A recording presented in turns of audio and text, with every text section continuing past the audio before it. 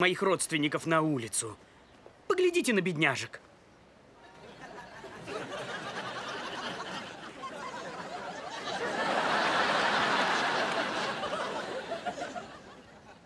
В общем, если бы ваш отец не продал мне это здание в 57-м, у вас не было бы проблем. Вините папу, а не меня.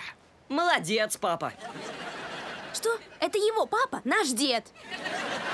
О, любимый дедушка Русса. При встрече он вытаскивал леденец у меня из уха. Я нарочно для него прятал. У вас есть месяц, чтобы освободить помещение. Сто стойте! Не желаете леденец? Нет, две недели. Я выторговал для нас две недели.